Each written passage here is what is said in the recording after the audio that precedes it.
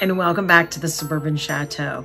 Today we're going to begin a new series I'm so excited to share with you.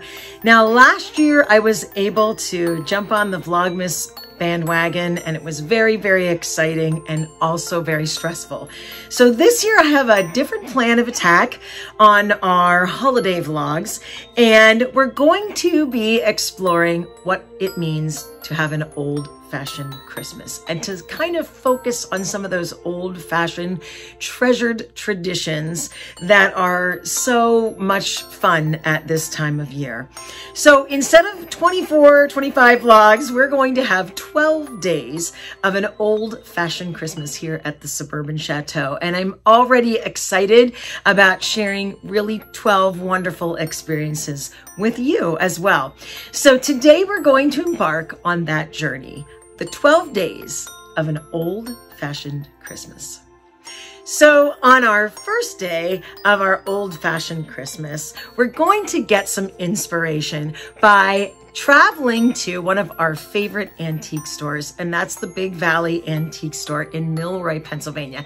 And I'm so excited to share our trip there, Sarah, my oldest daughter, and I traveled to Milroy a few weeks ago just to get some ideas. We didn't buy anything, but we really saw a lot of things that we loved and we got a lot of inspiration and helped us kind of get in the mood to get the decorating going and getting everything ready for this time of year.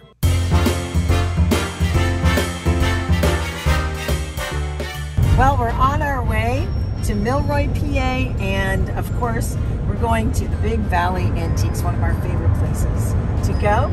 But today's kind of exciting because we're starting off our old-fashioned Christmas countdown and very excited to do so at an antique store and one of our favorites. So today I'll be looking for some old-fashioned Christmas ornaments, anything that will fit into our old-fashioned theme. It's going to be a great time.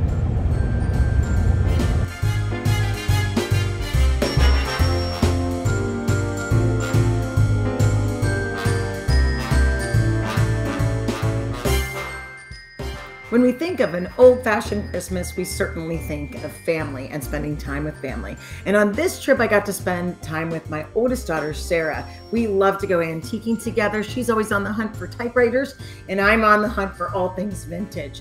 Every year on our way to Big Valley, we pass this cool ranch that's for sale, and it's attached to a Harley Davidson dealer on the way up.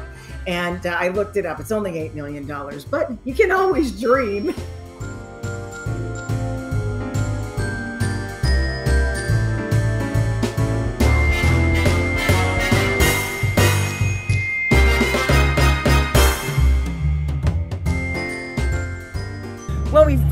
finally made it to Big Valley Antiques. We're really excited to see everything inside.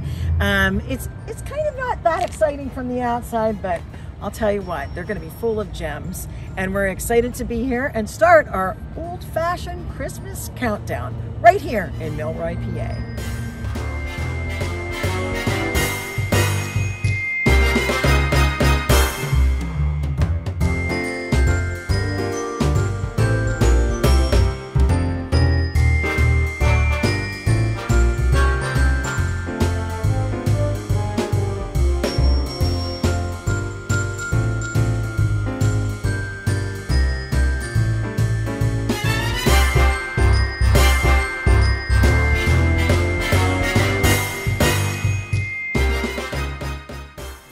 Now, at Big Valley, many of the booths have some Christmas items, but this booth in particular was completely decked out with all the Santas, all the vintage ornaments, almost anything you could think of.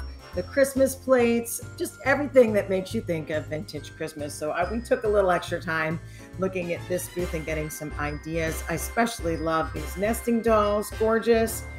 And one thing that struck me, they had a beautiful jewelry Christmas tree. And I don't know how to do that, but I have so much jewelry that match earrings that don't match.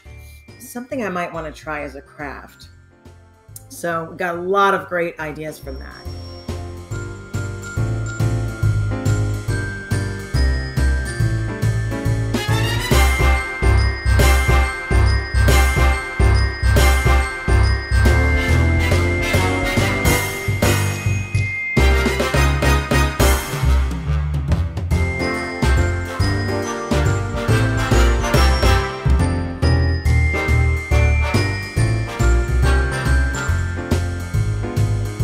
Now, there were two items that I saw on this trip that I almost splurged on. One was a set of Currier and Ives prints. I'm always looking for small prints to decorate some of my feature walls. I really wanted the winter print and I didn't want to break up the set. There was four, the four seasons. So I decided not to go for that. The other thing I almost splurged on was a tole painted coffee pot and it was just so gorgeous. And if you've watched my videos in the past, you know I love the Toleware trays. But this was a coffee pot and it just was very I really like that. That's evocative of the type of artwork that I love. But I did pass on it, but you never know. I know I looked at it the last time, so maybe third time's a charm for the coffee pot. But we sure saw a lot of really nice things.